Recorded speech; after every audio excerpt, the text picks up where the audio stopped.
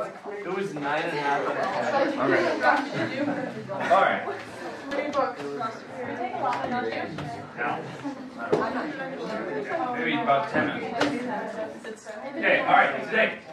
Um, we're gonna do a few notes here. Um, hopefully that, uh, hopefully I'll give you enough time where you can actually work on your homework. There's a couple problems I want to discuss from yesterday, and it ties in perfectly with what we're doing today.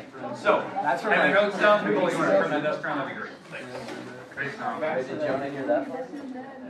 Dude, I didn't.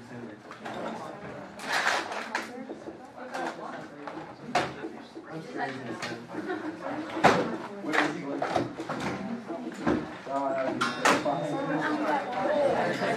Alright, do it. Just add to the list of good things that happened.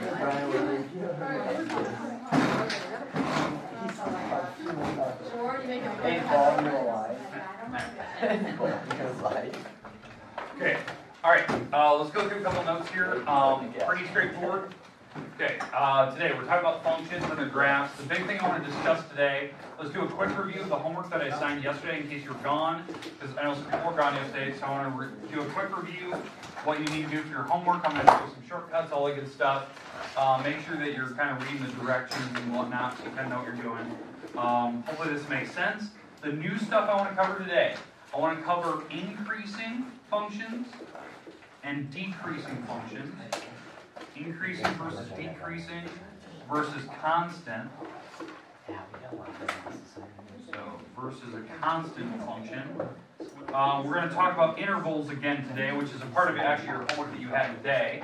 So we'll talk about intervals and the notations for that. Okay, so we'll talk about intervals or notation. Uh, and then the last thing I really wanted to discuss today is, once we're through all that, that's quite a bit of stuff. Um, I want to talk about, if we can get to it, um, it's called a differential quotient. Differential. differential. Now, I might just intro one today to talk about what it is. That what this topic is. In fact, I'm going to put a star next to it. Is the first like major concept for calculus that you need to have covered. That you need to know. Like um, all the stuff we've been up to, up to this point, yeah, it's kind of light and kind of easy. Kind of mixes some algebra one, algebra two together, um, which is a part of pre-calc. I mean, a lot of the stuff is. It's why it's in your book. Um, but this thing, this differential quotient, is a major chunk in, in calculus. Like a major piece. In fact, they spend an entire semester in Calc 1, like the entire year, teaching differential quotients. And I'm going to try to show you how to do it in about five minutes. Okay.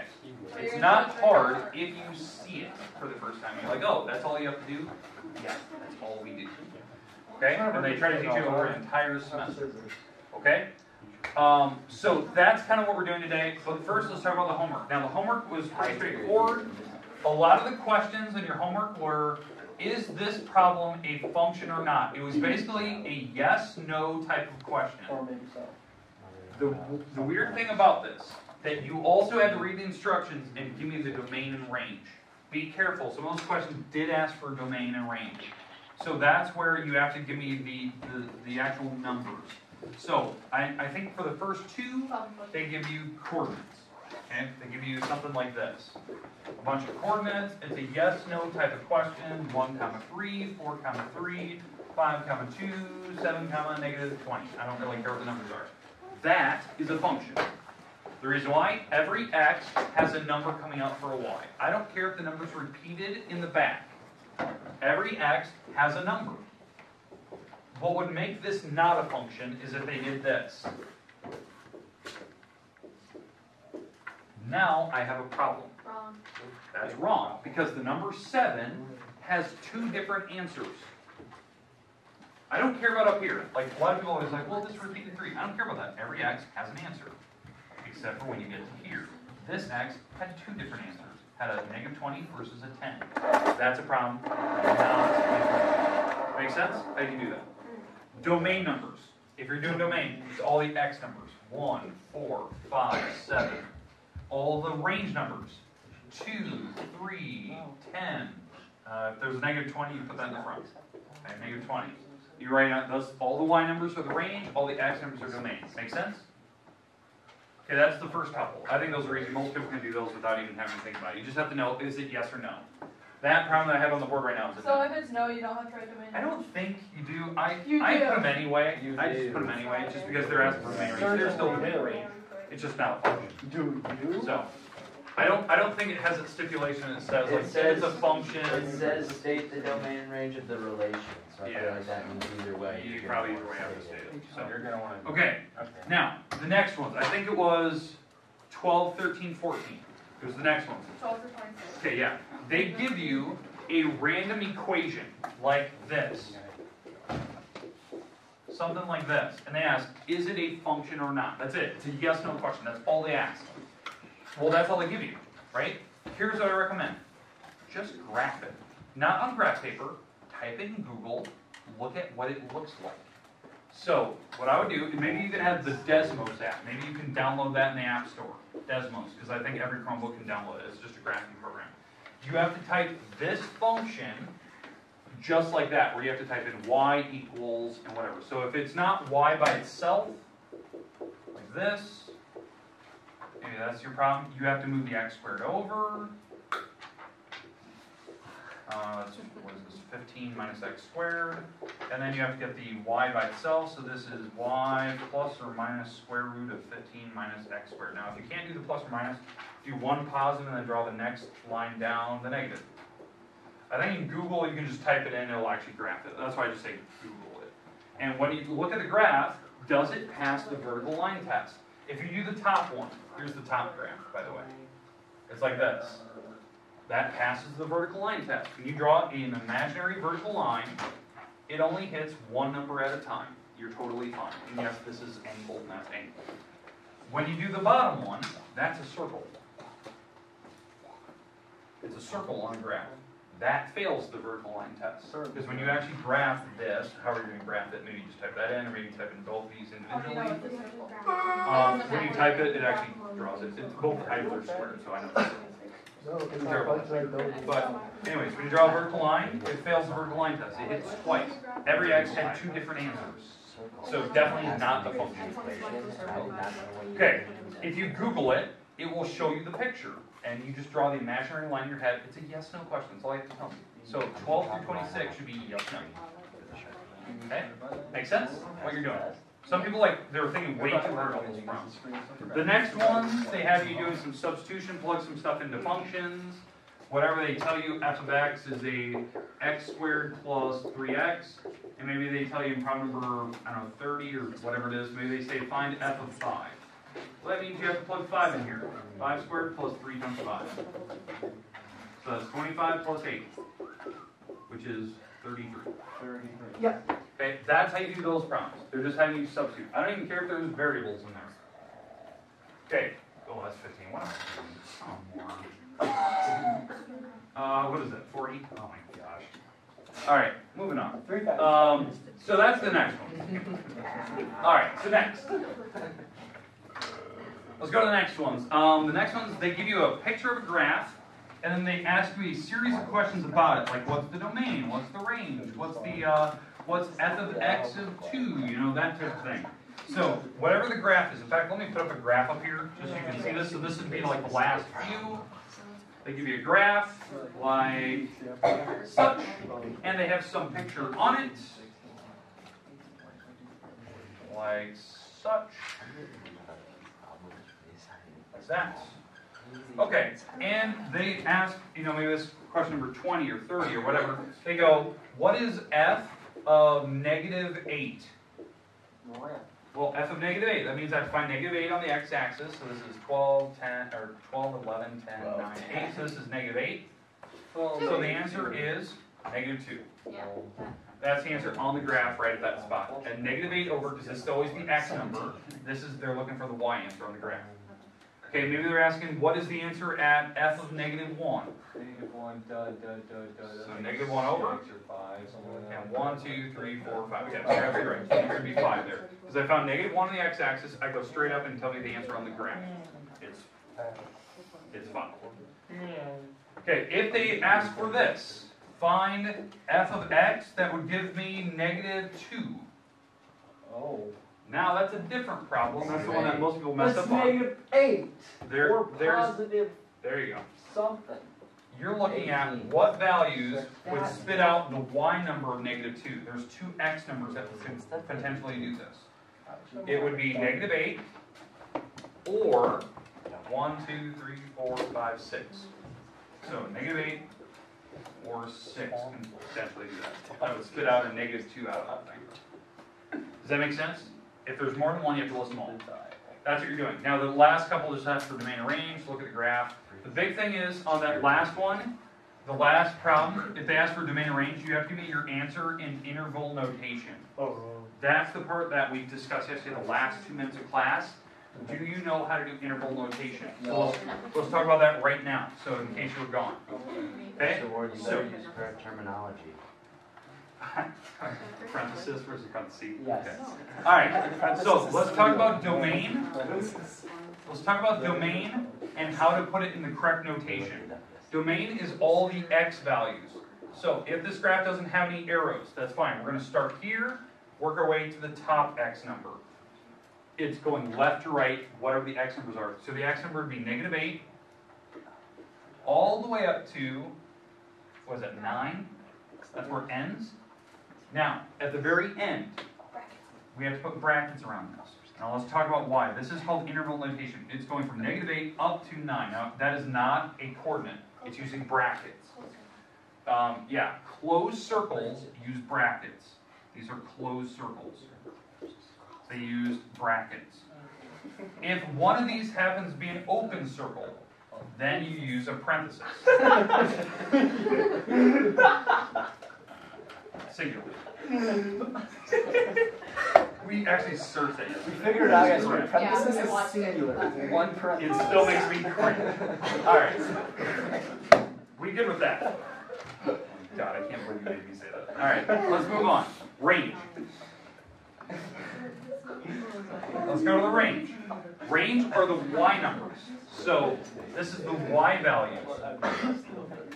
Okay, so for the y values, that's starting here and moving up to this spot. Now, you have to look for closed brackets, closed dots, that type of thing. Well, we do have a closed circle here, and let's assume this one is still closed. Because that was my original problem, had it closed. So I'll go back up here, and there. All right, so we're starting here, so I'm giving me the y numbers. This is negative two up to the number five. That was your highest point, it was five up. So negative two up to five in height. So that would be my bracket, negative two up to five, and yes, these brackets, they had closed circles. If there was an arrow, maybe there was an arrow going this way.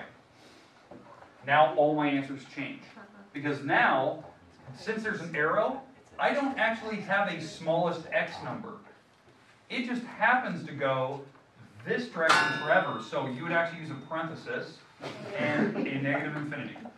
Because for the domain, we're going to negative infinity this direction. That's the direction we're heading, negative infinity. That way. We don't use a bracket because we don't include. So if they're both parentheses, then Yes?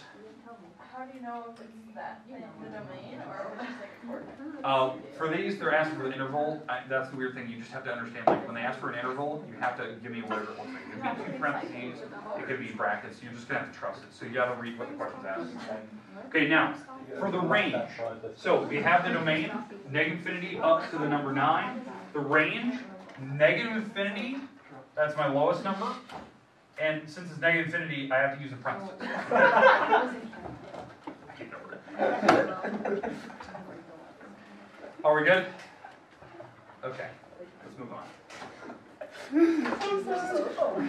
It's better every time. All you know. Oh, Always more. Just find ways to. Explain it to me. Why, why is it more important than just a word and a math term? You don't know? Yeah, it's just a word.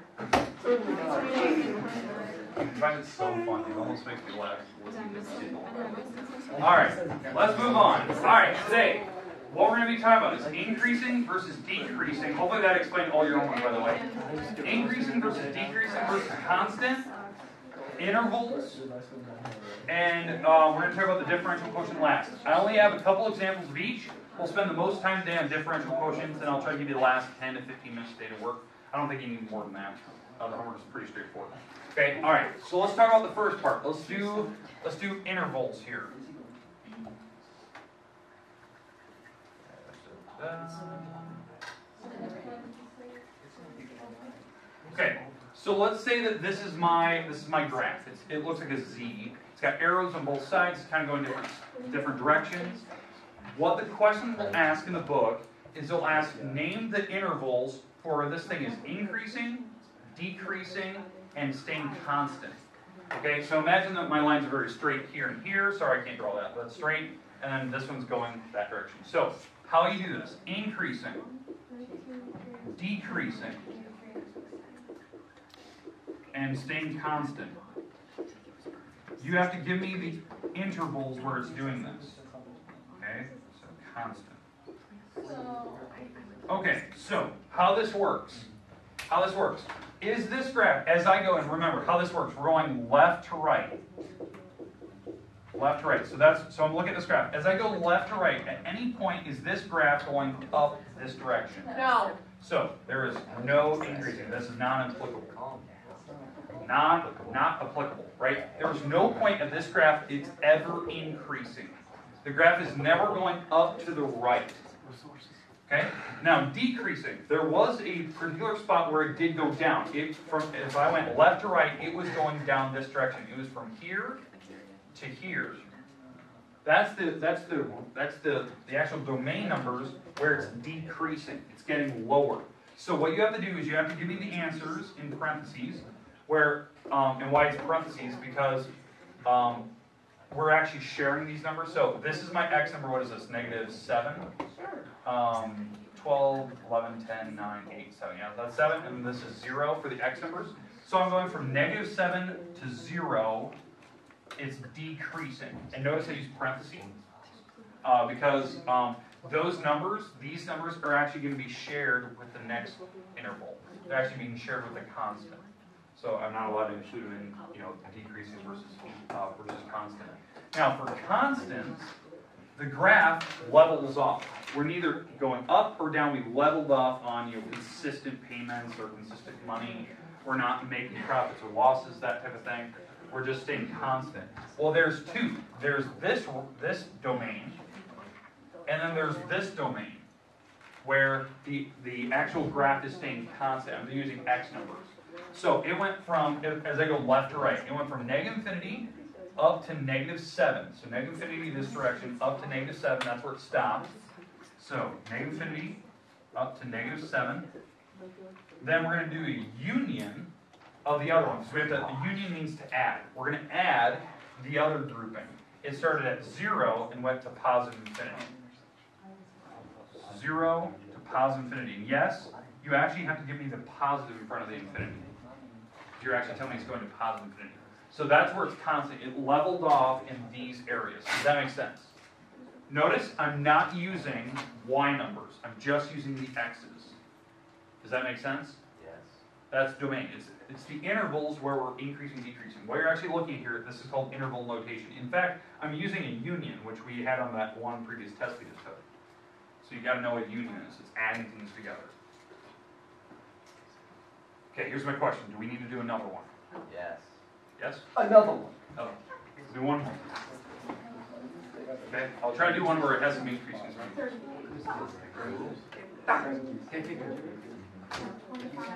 Yes. You should have taken a picture of it. It's a catch twenty-two, you can't do it. You're reaching for your pocket, I'm assume that your phone is nice. Oh, alright. Okay, hey, let's go to the next one. So another example, increasing, decreasing constant. Okay, um, let's start here. We'll go up, down, we'll go up, and this will stop. Okay, alright, so this is my graph. This is my function of some sort. It is a function, it passes the vertical line test. Okay, on this one, we have a couple spots where it is increasing.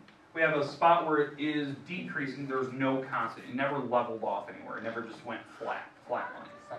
Um, so when we're increase, decrease, we can actually put these increasing, decreasing, but there's no constant.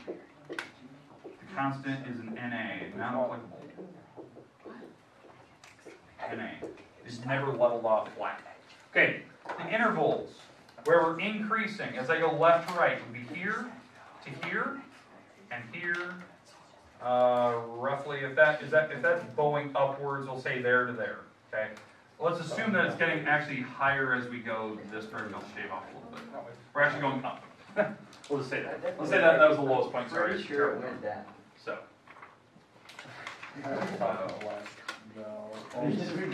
Big open dot, yeah. There you go, open dot. now open up, alright. Okay, alright, so let's say that that's my graph. Okay, so increasing, it's from left to right, here to here, it's going up, then it went down, and then it went up from here to here. So that's my, so my interval for increasing is this spot here, which is negative one, two, three, four, five, six. So this is negative six up to negative four.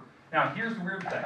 We can't share the negative, we're gonna have to share the negative four between the decreasing and increasing.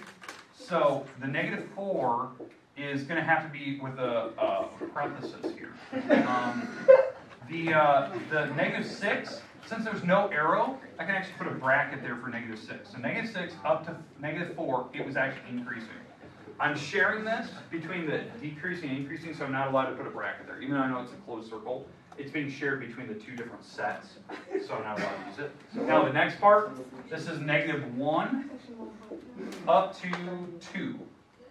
And that's a bracket because it ended at two. There's, it wasn't sharing it with anything else. It didn't have an arrow. So I'm using, I'm allowed to use a bracket. If that was an open circle, yeah, you'd have to put the parentheses there. So, all right, decreasing.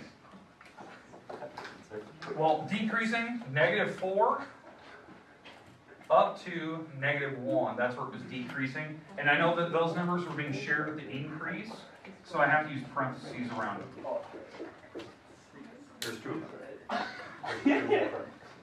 Okay. Okay, we're good with the interval notation, how that works? Hopefully that makes sense to you. For some reason, this was just a hot mess for people last year. Like when they got to the test, there I could tell what problems were going to cause problems. It was differential quotient, which is the, the kind of a more challenging material. And then this part, just getting knowing if you had to use a bracket versus a parentheses. Okay, we good? Yes. All right. One more example? No, you just want me to write it. Yeah. With an open dot. All right, no. All right, let's move on. Let's let's look at the last thing here today. This is my last note. I want to look at a differential quotient. Okay, a differential quotient is when they they give you a function. So I'm gonna I'm gonna write down a function here. I'm gonna write down something very very simple. Let's use this one. This is my this is my function. Very simple. That is a linear function, by the way. Uh, 3x plus 5 is linear. It doesn't have any powers on it, so it's definitely a straight line. All right. Um, what they want you to define is called a differential quotient. So let me write that term down here. We're going to find the differential quotient. Differential quotient for this function. Okay, now what that means, you are basically finding what they call the rate of change of this function. In fact, it's more, it's more important than that, other than just a rate of change. It is the instantaneous rate of change. Oh, man. It's like spontaneous. rate of change. Which, if, if you're in calculus, the instantaneous rate of change is called a derivative. I've heard about derivatives. It is a derivative. It is the number one thing that you learn in Calc 1. It's what they teach for an entire semester, how to find differential quotients over different functions. Wait, how is it so hard if you're going to teach us today? Okay, because I'm going to show you the very basic. This is the one rule that applies to all of them. Okay, it's a very generic rule. What they teach over the whole semester in Calc 1 is they teach very specific, like shortcuts you can do. Okay, because I'll, I'll tell you shortcuts. In fact, I'm going to write down the answer before we start. Just so you know that there is a shortcut for this problem. Okay.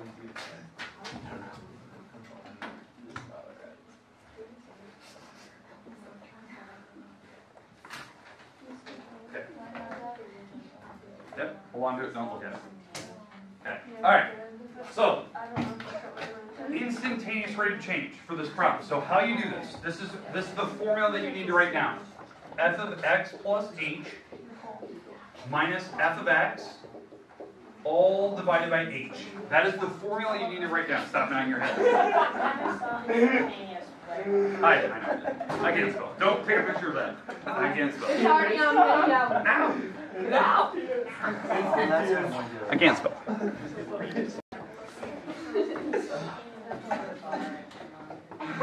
Yeah, it's definitely weird. Did you just stop it? No, I started that. Alright. It was almost 25 minutes, I had to restart it. So, okay, so, does everyone have their, does everyone have the, uh, the formula written down? Okay, alright. We're gonna, we're gonna take this function that I'm giving you, I call this a linear function. I'm gonna take this, I'm gonna plug it in here, and we're gonna slightly modify it. So it's kind of doing functional substitution, the stuff we did a little while back. Take me longer because you, yours was faster because you left out five letters. Okay, there, alright. Okay, so we're gonna take my function, modify it, and we're gonna plug it in there. So what I mean by that is, I know there's an h on the bottom, and I know that I'm gonna have to subtract the original function, the f of x. Well, What was my original function? Three X plus five. Okay, so that's gonna go back here, and you can put them in brackets, you can put it in parentheses, whatever you wanna do. It's gotta be in the back, you're subtracting the original thing I gave you. In the front, up here, this has to be in brackets. We're gonna modify the original function. This is the function, the original one, but we're gonna actually add in another letter. So, an H. So, you have to take your original function and substitute this into it. That's the hard part that most people can't figure out. If you have multiple x's, they have to all have an, a plus h in them with them. So what I mean by that is right here, there is an x on this problem. So I'm going to take off the x and put an x plus h where it sits. Notice I put that in parentheses. That x plus h has to be in the spot where the x was sitting. If there's multiple x's, then you have the x plus h on all of them. You're not just putting it in the back, it's, it's in there and it's being substituted in like you did in your homework today. The, actually, the, the, what is that, the 2029 Okay. Alright, let's do the math here. So, we're going to distribute the 3. Three X plus three H. So 3x plus 3h plus 5. And then you are going to distribute the negative sign in the back. Minus three X Subtract 3x, subtract 5, over H. all over h. And if you did this right, here's how you know you did it right. Everything that does not have an h should drop out. So I'm just doing normal math. Distribute, distribute negative signs.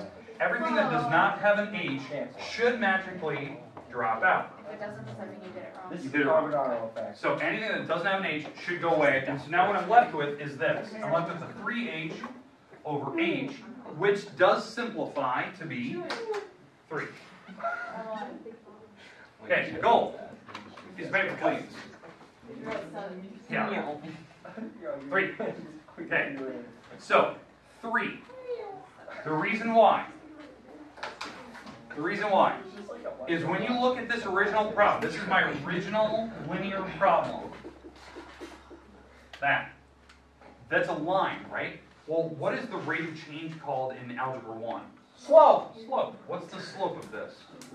Three. MX plus B. That is your slope. Well, that is what a rate of change is. So, if I knew my slope was 3, I could have jumped to the chase and knew what my final answer was.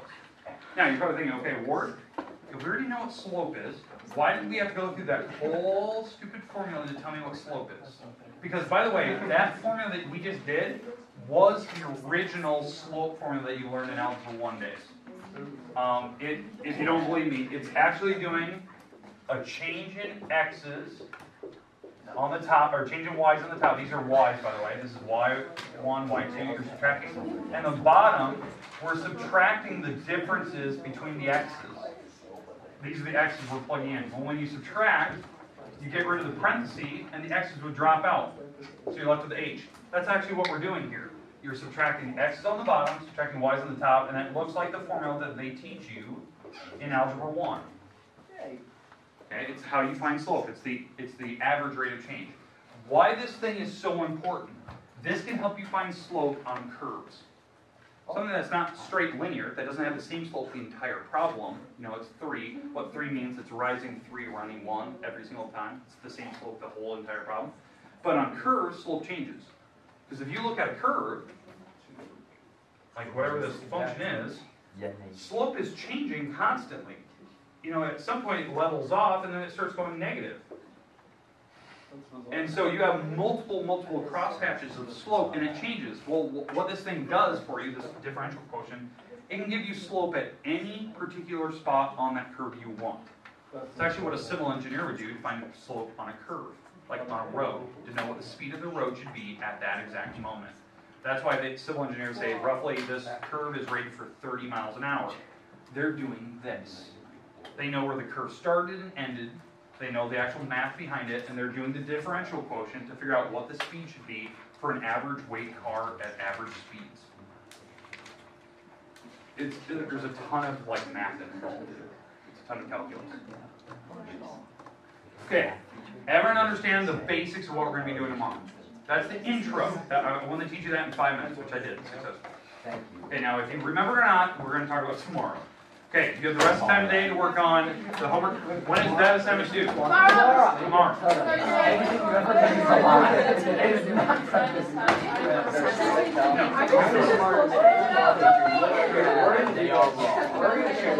So you're Not in terms of math. In terms one thing. I need to get that website, the, uh, the new Twitter page, and I'll put the Twitter on my board. Sometimes people can follow it, because I'll post on my, like, Yeah, yeah, yeah. Yeah, I'll pictures of myself. You don't want to like, get like a GoPro and have it on the angle of your foot. Yes. I could drop my GoPro, because I have one, I could drop it in the tank. From everybody. Yeah, and then, well, but then when you're in class, and like from the angle of an actor, so then when you're backwards. Uh, Nicole, you're a genius. I'm gonna do this maybe tomorrow. I have some creative idea.